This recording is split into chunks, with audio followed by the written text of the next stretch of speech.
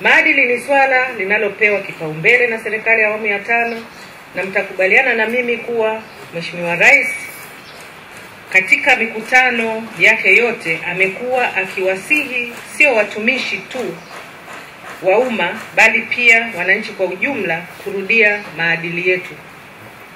Katika kipindi chake cha mwaka mmoja wa uongozi amekuwa akionyesha kwa vitendo jinsi anavyochukizwa na ukiukwaji wa maadili, haki za binadamu, ufisadi, hata kukemea wazi wazi rushwa na harufu za rushwa katika serikali yake yeye mwenyewe.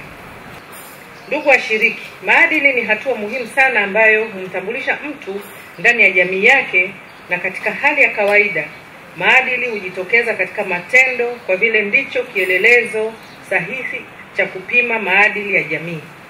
Kauli mbiu yetu ni kujenga na kukuza maadili, haki za binadamu, uwajibikaji, utawala bora na mapambano dhidi ya rushwa. Lengo la kuwa na kauli mbiu hii ni kuunga mkono jitihada za serikali ya awamu ya tano inayoongozwa na Mheshimiwa Dr.